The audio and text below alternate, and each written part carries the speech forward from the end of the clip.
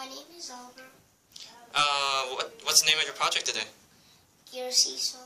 Okay, can you show us what it does? Whoops. Oops. Can you put it back together? Can you show us again? Oh, it's still moves. Alright. Okay, can you stop it, please? Alright. What were your challenges in building this? What was the most hardest part?